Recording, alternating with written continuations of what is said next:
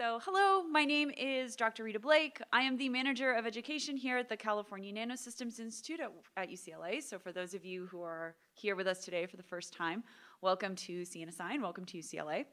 Um, I'm going to be the MC for today uh, for these presentations. And uh, first of all, I wanted to give you guys a little bit of an introduction to what CNSI is and to what your students have been doing for the last uh, four and a half days with us. So, the CNSI is a pretty interesting place. Unlike many of the other departments on campus, we are actually not a typical academic department. We are a research institution that brings together public and private investment to look at the issues uh, and the research questions that are centered around nanoscience and nanotechnology, which is science and technology at the nanoscale. And if you don't know what that is, I'm pretty sure that by the end of today, you will. So basically, we have uh, four different uh, major thrusts that we focus on here as an institute. One is team science, which means that we bring together faculty from all over the campus in science, in technology and engineering and math to do research, again, around nanoscience. Um, we have a really big uh, set of uh, technology centers downstairs that uh, many of which your students actually got to work with uh, for this course uh, especially our microscopes, which you guys will learn about. Um, we have an entrepreneurship program where we have an incubator that houses around 20 or so startup companies, not exclusively in nanoscience and nanotech, though many of them do enter that field. And of course, we have an education platform, uh, one big component of which are these summer programs. So there are a lot of people, both in the institute and uh, who worked in this program, that helped make today possible and this whole week possible. So I need to do some thanks before we get into everything. So first of all, um, our director, Dr. Jeff Miller, um, who is also actually one of the guest lecturers for the students because he does amazing research on the microbiome, on precision antibiotics, and so he talked about his work. And our executive director, Sonia Luna, who helps everything run in this building and help support all of our activities. Um, we had a lot of staff working both with students and behind the scenes. Um, so I want to uh, specifically thank these four people here, especially Dr. Elaine Morita, who is our education program coordinator and who helps keep all of the chaos that is involved in running a summer program together. So I have to give a big thank you to her.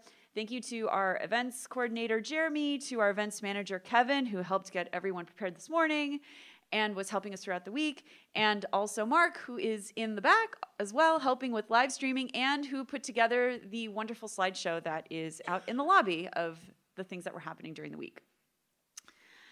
And then in terms of the instruction, we have had, again, multiple people assisting. We had three main instructors for this course, one of whom is sitting right there, uh, Dr. Adam Stieg, who is the Associate Director of the Technology Centers and also the Director specifically of one of the centers, the NanoPico Characterization Lab, and the Technical uh, Interim Director of the Clean Room. Uh, we have Dr. Laurent Bentolila, who is the director of the Advanced Light Microscopy Lab and also a researcher here at the CNSI. So he worked with the students on light microscopy. And we have Dr. Hong Zhou, whose focus is on electron microscopy, and he runs the Electron um, Imaging Center uh, again, one of the tech centers here at UCLA. So those were their three main instructors who each gave them um, instruction on their specific technique of expertise. We also had major, major help from um, Dr. Michael Lake, who is an assistant instructor for this course, and he is a, sta a, a staff scientist um, here at CNSI who is familiar with all of the techniques as well. He was he was there to support um, the different labs that they were doing and also give them feedback and advice for the projects, so kind of serving as an advisor for them. And we also had a wonderful teaching assistant this year um, named Brian. Brian Jong. He is a graduate student here at UCLA, and he was also there to help them out uh, in the evenings with homework, with projects, um, and it was really, really wonderful to have him this year. So I have to thank all of the instructors for all of their work this year. So it's been a very, very busy week for these students. They've been doing quite a lot in a very short period of time.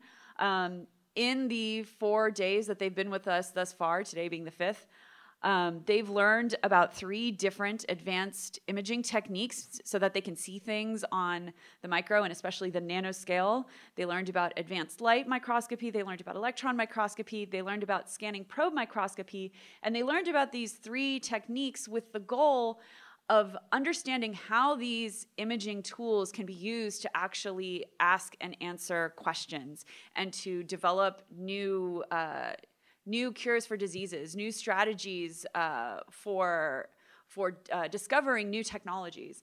And specifically, we asked them to look at these different techniques in the context of two different uh, grand challenges. Uh, which are the Brain Initiative, which looks at understanding the brain and developing new tools that are inspired by the brain, and also the microbiome, which they will, again, I am very sure in these presentations, tell you about. Um, so for these final presentations, we asked them to do one of two things. Either to tell us how can current instruments address a question of their choosing within these two grand challenges, or what new instruments should be developed to address one of these grand challenges. So we, uh, so they put themselves into groups of three.